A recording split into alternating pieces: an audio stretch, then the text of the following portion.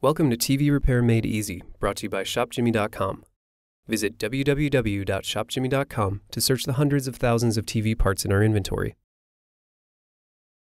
To be best prepared for your board replacement, you will need the following materials. So let's get to it, shall we? Locate your TV's identification label and take note of the brand name, model number, serial number, and model code if present. Unscrew and remove the back cover.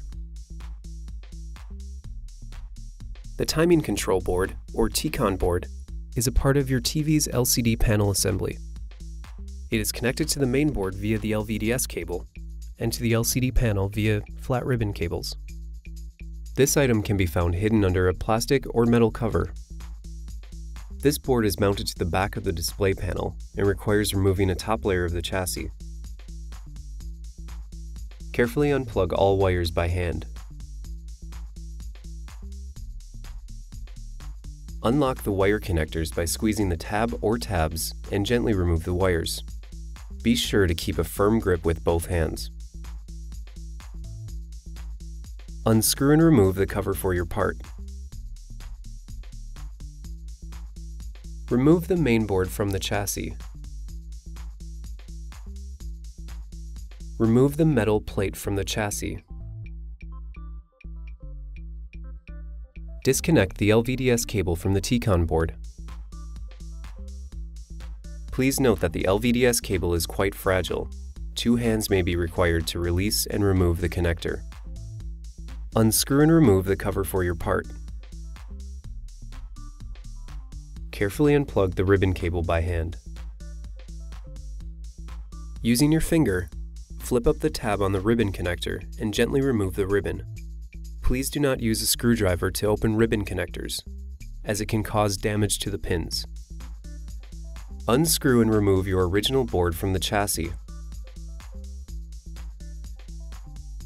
The part number for this item can be found printed on a barcode label.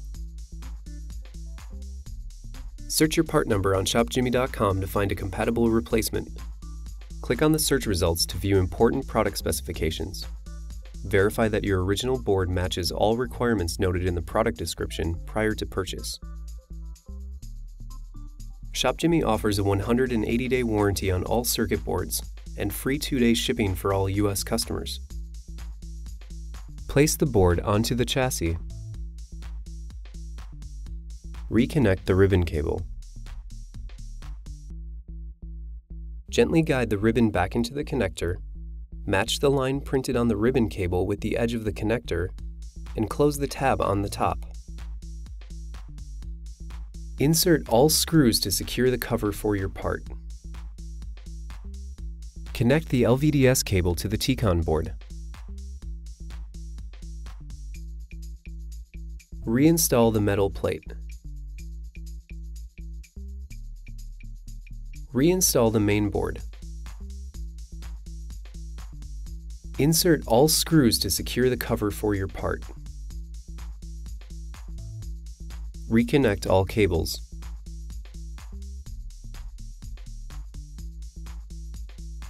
Return the back cover to its original position and secure all screws.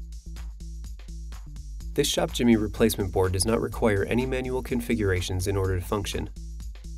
Simply plug in and power on, and your TV will function as if new. Thank you for watching one of our many tutorials here at ShopJimmy.com. If you have any further questions regarding your repair, simply post a question in the comments section below or call our award-winning customer service team at the number on your screen.